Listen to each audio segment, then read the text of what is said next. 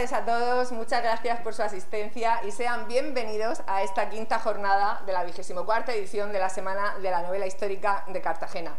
Como pueden ver, este año hemos elaborado un cartel extraordinario, estamos teniendo unas jornadas magníficas, hemos pasado ya el Ecuador, queda muy poquito, solo nos queda esta tarde y mañana la clausura y la entrega de premios, pero les aseguro que esta tarde va a ser inolvidable. Una tarde más eh, acudimos puntuales a nuestra cita con la novela histórica, un género literario que nos ayuda a entender el presente, porque la novela histórica es mucho más que una obra de ficción que recrea un periodo histórico recogiendo algún personaje o evento relevante del pasado. Las claves del éxito de este género estriban precisamente en que podemos sumergirnos en el pasado, vivir las vidas de otros, con ese ritmo del camino fluvial que no se detiene. Hoy quería hacer especial mención a este género al que dedicamos esta profusa semana, ya que la novela histórica es el género que mejor aúna a la perfección ficción con realidad, además de ser una puerta que atravesar para interesarnos por la historia. Con ella viajamos en el tiempo, nos sumergimos en tiempos pasados, poniéndonos en la piel de grandes personajes de la historia e incluso de otros secundarios, los irreales, los que con la imaginación del autor consiguen cautivarnos. Hoy también quería recordarles que durante estos 24 años de fructífera actividad han pasado más de 250 autores por nuestras filas, tanto nacionales como extranjeros, de la talla de Julia Navarro, Juan Eslava Galán, María Dueña, Santiago Posteguillo, Carmen Posadas, Juan Vilches, etc. Junto a ellos también tratamos además de dar voz a autores noveles que no vienen respaldados por una gran editorial, pues nuestra semana les brinda la oportunidad de darse a conocer al exigente público. Hemos trabajado denodadamente durante estos 24 años por la supervivencia de este certamen, que a día de hoy goza de un gran prestigio nacional. No en vano es el certamen decano de novela histórica en España, tras el cual han aparecido otros que afortunadamente se han mirado en el espejo de Cartagena para seguir nuestra estela. Nos sentimos muy orgullosos de esta marca cultural que lleva el sello distintivo del compromiso para fomentar la cultura y nuestra pasión por las letras y que a su vez éstas lleguen a todo el público que comparte esta afición con nosotros. Porque como decía el gran Antonio Gala, un libro es la pértiga que permite dar saltos inimaginables en el tiempo y en el espacio, el testigo de la más hermosa carrera de relevos, un infalible e íntimo amigo silencioso.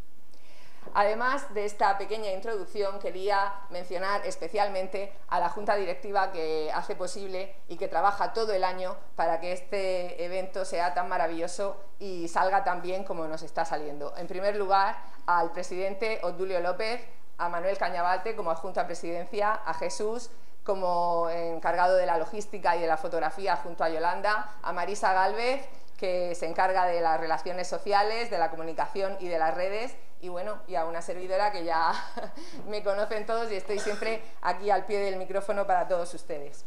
Bueno, pues como no me quiero extender más, hoy voy a presentarles ya a nuestra primera invitada, que seguro que todos ya la conocen porque estuvo con nosotros hace muy poco, pero no podíamos resistirnos a volver a invitarla a Cartagena y con una muy buena razón.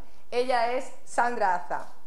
Sandra Aza fue premio Odilo en el año 2021 con su obra Libelo de Sangre y que ahora ha reeditado de principio a fin junto con la prestigiosa editorial Planeta con muchos cambios que ella nos va a explicar a continuación. Sandra es abogada, licenciada por la Universidad Complutense de Madrid, ejerció el derecho durante bastantes años en el, despacho Uría Menéndez y como gran apasionada de la historia siempre dedicó sus letras a redactar escritos judiciales empapándose de derecho procesal, pero un buen día decidió colgar la toga para conquistar un nuevo sueño, escribir una novela que rindiese homenaje al Gran Madrid y su historia, y por otro lado, que describiese un procedimiento inquisitorial desde una perspectiva objetiva, sin templar en su dureza, sin recrearse en el morbo, pero siendo absolutamente fiel a la realidad le ha llevado esta novela un intenso periodo de documentación e investigación que ha culminado con este nuevo libelo, una gran novela que sin duda no deja indiferente a nadie y con la que está cosechando multitud de éxitos. Vamos a darle un caluroso aplauso a Sandra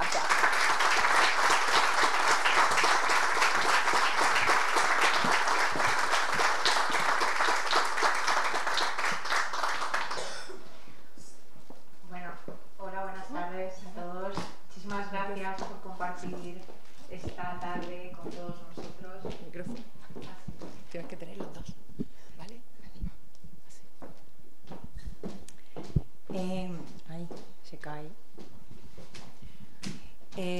Muchísimas gracias también a Emilio y a José por compartir mesa con, con, esta novicia. Para mí me siento tan pequeñita como grande es el honor. Así es que muchísimas gracias. Bueno, eh, ¿esto lo puedo quitar? Eh, es que... Ya, vale. Bueno, es que os voy a... Vale. Bueno, no quisiera empezar sin antes dar las, gracias, las gracias al certamen Semana de Novela Histórica de, Cartagena por este bellísimo puente de letras que brindáis a las historias de la historia y también a todos los miembros de la Junta Directiva porque sé muy bien la cantidad de trabajo, de esfuerzo y de ilusión que ponéis a lo largo de todo el año de una manera absolutamente desprendida y gratuita solo para brindarnos esta maravillosa semana a todos los aficionados a la novela histórica tanto los que la leen como los que la escriben. Perdónenme la voz, he estado afónica hasta hace dos horas eh, y la tengo un poquito floja. Bueno, para mí presentar Libelo de Sangre en Cartagena es muy, muy, muy especial eh, por dos razones. Una es personal, porque eh, toda mi familia materna es, es, de estas tierras, tengo el corazón partido entre Madrid y estas tierras eh, todos los veranos de mi infancia han transcurrido aquí y probablemente los momentos más inolvidables de mi vida también. Y la otra razón es literaria. Aquí, como bien ha dicho eh, Laura, muchísimas gracias Laura por esta presentación, ha sido preciosa, me la llevo en el corazón. Eh, como bien ha dicho Laura, aquí hace dos años tuve el enorme privilegio de que me concedieran el premio Odilo a la mejor autora y yo puedo decir sin temor a equivocarme que, ese de verdad fue el comienzo de, de, mi vuelo como escritora. Ahí de verdad fue cuando empecé a volar y nunca, nunca, nunca eh, podré agradecer lo suficiente. Eh, bueno, eh, voy a empezar a hablarles del libelo de sangre eh, contándoles dónde nació. Es una historia muy curiosa. Eh, voy a abrir un poquito mi álbum de fotos personal para que vean ustedes, eh, para ilustrar lo que les voy a contar. Miren, yo era abogada, dejé la toga por un sueño, el de escribir. Lo que ocurre es que para conseguirlo sin dejar de pagar las facturas, porque esas no entienden ni de sueños ni de ilusiones, esas entienden de matemáticas y si no ingresas, pues no las pagas. Así es que para poder pagarlas eh, tuve que eh, pasar una oposición y después de unos cuantos años estudiando libros y encerrada, eh, aprobé la oposición pero no me vi con fuerzas de volver a encerrarme para escribir uno. así es que empecé a marear la perdiz. hice teatro, hice mis pinitos como actriz de doblaje, aunque no lo parezca, tengo una voz un poco mejor. Eh, también me metí en un dúo musical y me iba por ahí por los escenarios cantando boleros, ¿no? Y, y, mi marido me regañaba y me decía, haz el favor de dejar el la la la y ponerte a escribir, que para eso lo has dejado todo. Y yo me cabreaba muchísimo porque es lo que tienen las verdades descarnadas, ¿no? Que cuesta escucharlas y molesta porque eso implica eh, afrontarlas, ¿no? Pero algo debió calar en mí porque una tarde me senté y me puse a desgranar la sinopsis de una novela. Yo no sabía de qué iba, no sabía el argumento, pero sí tenía claras tres cosas. Una, la situaría en Madrid, dos, en el siglo de oro y con la Inquisición presente. Este, esta sinopsis pobre y escuchimizada eh, carecía de título, de personajes, de ambientación, carecía en definitiva de vida, por no tener, yo no tenía ni, ni la más remota intención de desarrollarla, porque yo lo único que quería era que mi Pepito Grillo particular me dejase un poquito en paz.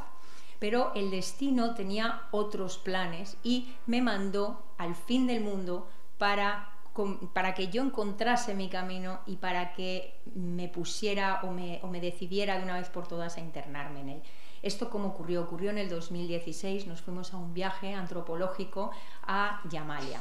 Yamalia es una región siberiana y cuando digo que me fui al fin del mundo y que aquí nació Libelo de Sangre en el fin del mundo es literal porque eh, Yamalia está situada en los montes Urales polares y como más allá de los montes Urales polares solo hay hielo y mar, en el idioma del lugar Yamalia significa justo eso, fin del mundo. Eh, la expedición eh, estaba liderada por Francesc Bailón, un amigo mío, eh, un experto en el mundo ártico, y consistía en convivir con los nenets, el pueblo nómada que habita aquellas tierras. ellos son pastores de renos y van migrando allá donde la tundra les permite el, permite el crecimiento de los pastos que comen estos animales. Para hacer estas migraciones ellos pernoctan en chums, son estas tiendas al estilo tipi indio, están eh, recubiertas de piel de reno y porque allí no hace precisamente calor, aquí ven ustedes el sol, pero aquí hacía la friolera de 35 bajo cero, eh, friolera nunca mejor dicho, hacía mucho frío. Bueno, pues una tarde en el interior de este chum los hombres se habían ido a cortar leña y las mujeres se habían quedado cosiendo. Allí los roles están absolutamente establecidos. Eh, y eh, Francés y yo nos quedamos en esta, esa tarde con las mujeres y me, me surgió hablarle de aquella sinopsis. Eh, él que es escritor también y sabe bien cuánto demanda, absorbe eh, y consume la literatura, a pesar de todo vio potencial en la historia y me animó a plasmarla en, papel. ¿no? Eso fue el comienzo de algo nuevo, fue algo, un viraje absolutamente definitivo, porque allí, en esa tienda, entre estas paredes construidas con pieles de reno y en medio de la nada, y cuando digo en medio de la nada, me refiero a en medio de la nada, porque ahí nació Libelo de Sangre. Ahí eh, fue cuando yo empecé, llegué a casa, me planté delante del ordenador y definitivamente me puse a, me dispuse, mejor dicho, a pintar de negro aquel enorme desierto blanco que tenía por delante. Aquí, en el fin del mundo y en medio de la nada, empezó todo. Aquí empezó la magia. Libelo de Sangre es un thriller histórico, es una historia bordada de amor, amistad, lucha, supervivencia, honor, honradez, eh, muchas sonrisas y alguna que otra lágrima. Eh, tiene como protagonistas a la familia Castro, Em, y la trama se sitúa en el Madrid de 1621. Sebastián Castro es un reputado escribano de la villa, es cristiano de corazón, aunque él eh, tiene ancestros judíos, pero se trata de una religión que nunca ha tenido vigor, mm, vigencia ni en su credo ni en su vida. ¿no? Eh, está casado con Margarita Carvajal, es una cristiana eh, de toda la vida, de un indiscutible fervor católico, y ambos tienen dos hijos. Alonso Castro es un muchacho de 13 años, el, verdadero protagonista de la novela, eh, y Diego Castro, que es un bebé de meses cuando una doncella aparece violada hasta la muerte junto con el cadáver de un muchacho al que han extirpado el corazón, el pánico recorre todos los rincones de la villa hasta llegar a los mentideros, esa plataforma de lo que hoy, de creación de lo que hoy serían las fake news. Eh, y entre estas fake news empiezan las elucubraciones sobre eh, quién ha podido cometer ese crimen que claramente eh, tiene todos los visos de ser un crimen ritual, un crimen hereje. Eh, enseguida surge un libelo de sangre. Libelos de sangre son acusaciones falsas que culpan a los judíos eh, de secuestrar niños cristianos para sacrificarlos y después para torturarlos y después crucificarlos en una especie de recreación burlona de la pasión y muerte de Jesús para después acopiar su sangre y utilizarla en rituales oscuros. Bien, este libelo de sangre que surge a propósito de estos crímenes rituales apunta directamente a Sebastián y a Margarita. Esta circunstancia eh, trunca la, dicha de la familia porque Sebastián y Margarita se ven enfrentados a un procedimiento inquisitorial por un lado y por el otro Alonso, el hijo mayor, se ve obligado a huir con su hermano pequeño en los brazos y a sumergirse en un Madrid, en los bajos fondos de un Madrid que él desconoce para iniciar una carrera absolutamente desesperada eh, en la búsqueda de una manera de salvar a sus padres de esa hoguera que cada vez humea más. Em, lo cual lo primero que le obliga a hacer es abandonar a su hermano en la inclusa. Eh, en, en, todas este, en toda esta oscuridad de infortunios, de infortunios eh, se prenden tres faros, ¿no? tres faros de luz, eh, la amistad, la esperanza y un sueño. La amistad se la brindan Juan y Antonio, son dos pícaros indigentes que se las saben todas en lo que a la indigencia se refiere, le ayudan a, a, rescatar a sus padres y además también le, le enseñan a vivir y a sobrevivir en la indigencia. La esperanza late en una bolsa llena de dinero que parece manejar los hilos del destino y el, sueño está en la universidad, porque eso es lo que quiere hacer Alonso, ingresar en la universidad, estudiar leyes y convertirse en un abogado capaz de, y ejercer un derecho capaz de impedir que inocentes como sus padres sufran los rigores de la injusticia. Eh, en Libelo de Sangre he querido formar un puzzle de la esencia humana. Eh, ser humano es capaz de lo mejor y de lo peor. Por eso en esta novela vamos a encontrar eh, personajes que hablan de las dos cosas. Tenemos personajes que, representan lo, más bonito de las relaciones humanas, ¿no? el amor, la amistad, la honradez, el honor. Y por otra parte, eh, los personajes malos, ¿no? estos que, cuya perfidia no conoce límites, no tienen ningún tipo de escrúpulo, no se rigen por ningún principio moral y son capaces de hacer cualquier cosa por conseguir lo que quieren.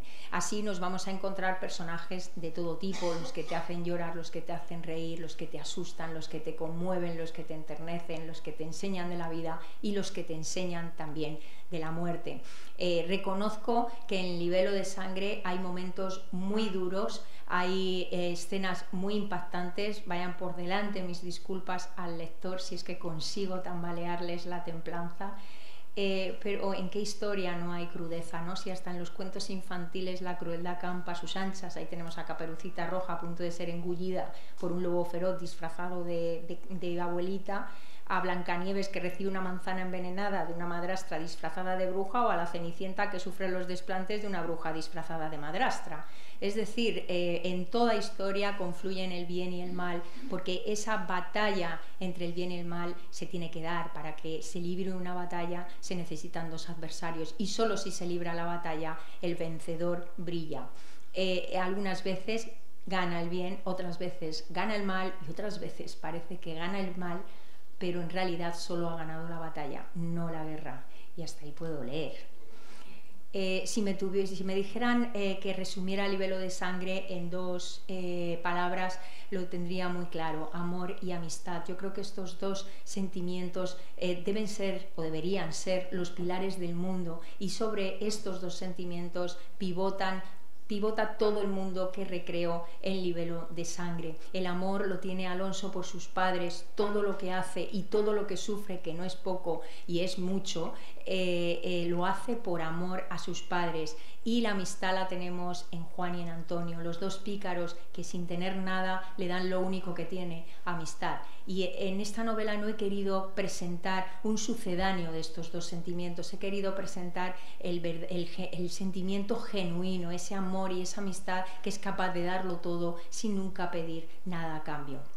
Este, eh, todos estos avatares eh, van a sumergir al lector en el Madrid de 1621, eh, una ciudad donde, que era sede de dos cortes, ¿no? la corte imperial y la corte del hambre. Yo me he querido centrar en lo segundo, en la corte del hambre. El lector del libelo de sangre no va a pasearse ni por palacios ni por mansiones, al revés, se va a sumergir en los bajos fondos eh, de Madrid, porque ese era el verdadero Madrid. El, Madrid de aquella época, la gente del Madrid de aquella época no vivía en palacios, vivía en chamizos y muchos de ellos en la calle. Este era el verdadero cuadro de Madrid y este es el que he querido eh, retratar. Eh, la gente humilde tiene mucho que decir, mucho que compartir y mucho que enseñar y pocas veces se les da voz. Yo he querido rendir homenaje a la gente del pueblo, esa que no protagoniza portadas, esa que no suscita envidias y esa que más que vivir sobrevivía. Por eso, eh, de Sangre es un canto a la gente del pueblo y en particular a la gente del pueblo de Madrid.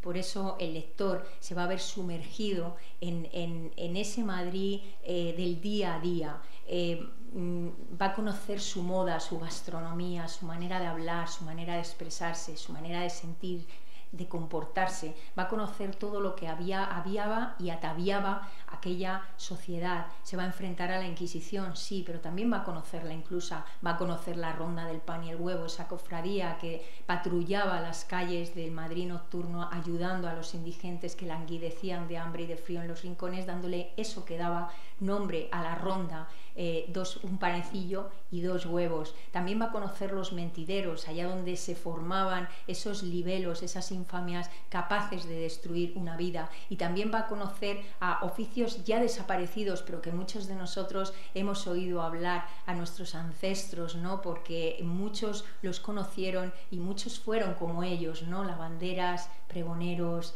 aguadores, esportilleros. En definitiva, eh, va a conocer al Madrid eh, de, esa época y ese ha sido eh, uno de mis homenajes. El, segundo homenaje ha sido a mis mayores, a los mayores, como lo he hecho con el lenguaje.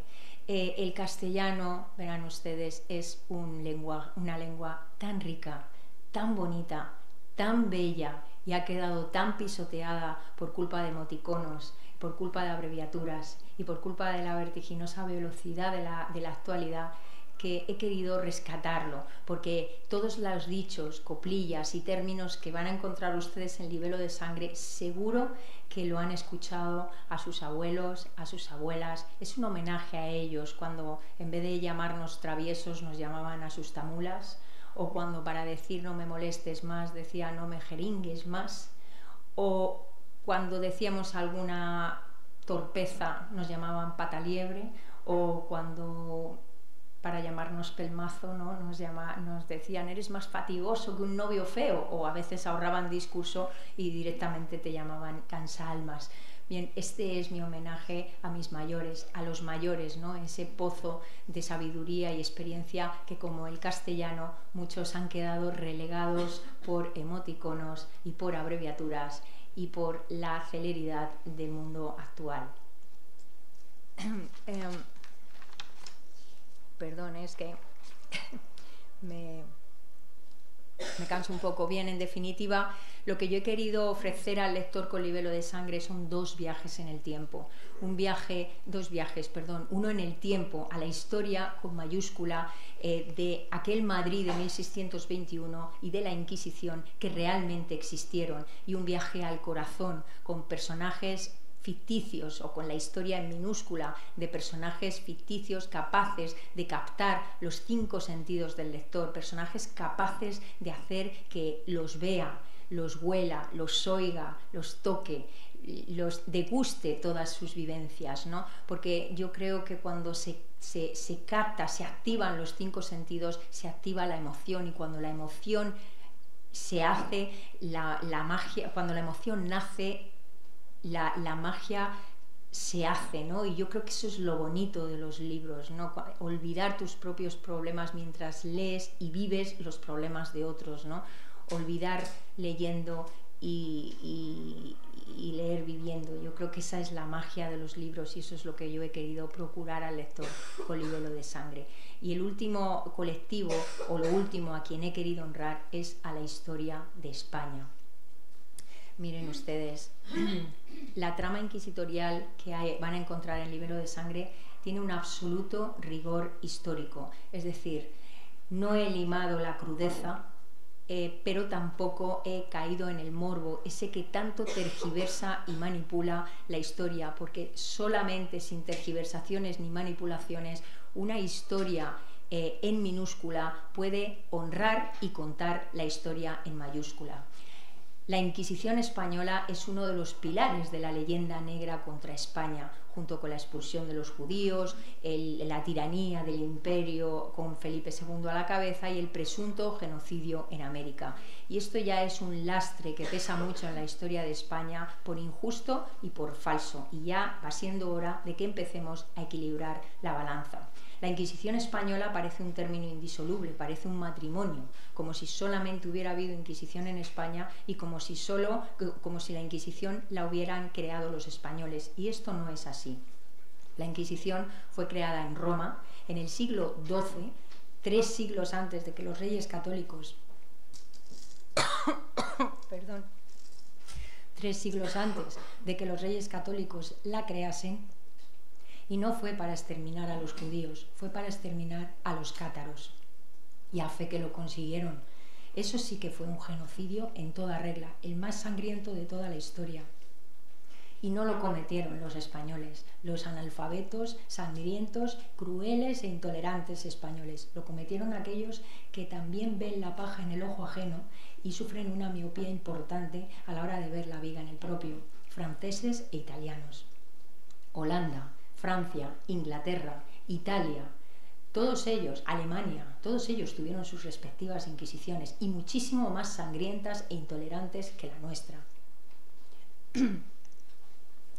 Em, ahí tenemos, eh, mientras que en España la caza de brujas, la brujería estaba fuera del delito del Código Penal Inquisitorial, eh, en Alemania se estaban quemando un mínimo de 50.000 mujeres en las cifras más, optimistas y un máximo de 5 millones de mujeres en las cifras más pesimistas. Cátaros y templarios cebaron las hogueras francesas, miles de cabezas católicas cayeron bajo el régimen calvinista y por no hablar de Isabel I de Inglaterra, eh, que le bastaron 10 años para eliminar cualquier vestigio de cristianismo que hubiera habido en aquellas tierras. Mire, no se trata de los españoles, mm, la historia de España tiene muchas sombras, es verdad, pero también tiene incontables luces y nosotros minamos lo, cebamos lo primero y minamos lo segundo. Los españoles no fueron santos, pero tampoco fueron más demonios que los demás, porque en una época en la que la, la guerra era un oficio y la religión era una necesidad, se mataba por obligación y se rezaba por devoción. No se trata ahora de teñir de rosa la leyenda negra, se trata de quitar leyenda a la verdad y de poner verdad a la leyenda. Nos dieron barro y en vez de escupirlo lo tragamos. Nos infamaron y en vez de desmentir la infamia contribuimos a ella. Apagaron nuestras luces y en vez de tratar de volver a prender la mecha atacamos a quienes lo intentan eh, hacer eh, la gran singularidad de la leyenda negra contra España es lo hondo que caló en los españoles, convenciéndonos no de ser imperio, sino saumerio de intolerancia, analfabetismo y crueldad. Esta leyenda negra contra España no hubiera prosperado de la manera en que lo ha hecho si nosotros los españoles no la, no la hubiéramos regado con el agua complejada de quien nace grande pero no sabe que lo es yo creo que ya ha llegado el momento de empezar a equilibrar la balanza y eso es lo que he querido hacer con Libelo de Sangre, eh, hacer contar la verdad para que así la historia de una vez por todas recupere la verdad, España su identidad y los españoles la dignidad. Y me gustaría terminar eh, como he empezado, dando las gracias.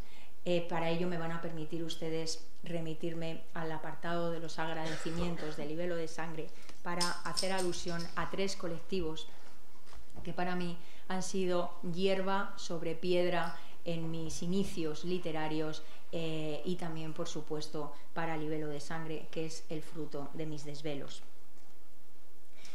Gracias a la empresa Odilo, al certamen Semana de Novela Histórica de Cartagena y a sus organizadores por propiciarme un momento que jamás perderá majestad en el jardín de mis recuerdos. Gracias al grupo Facebook de Facebook Novela Histórica, a sus administradores y a todos sus miembros por el cariño e infinito apoyo que me han brindado desde los albores de mi incursión en la literatura. Y el tercero es, ya lo he perdido,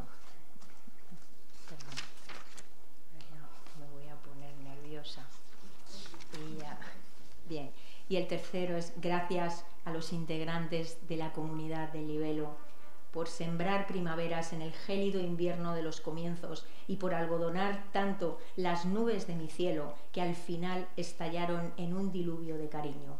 Me gustaría citaros de manera individual, pero me habéis concedido la dicha de alcanzar tal número que excede los límites de este pequeño rincón de afectos confesados. No obstante, sabed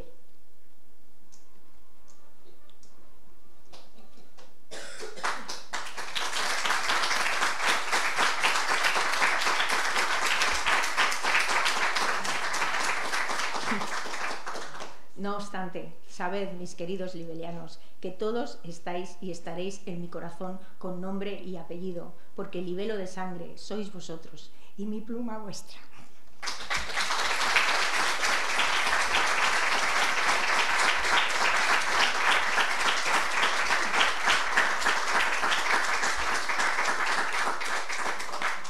A todos doy pues las gracias y me despido de ustedes como hacen los de aquí, los de Cartagena, con los brazos abiertos y las manos tendidas. Muchísimas gracias.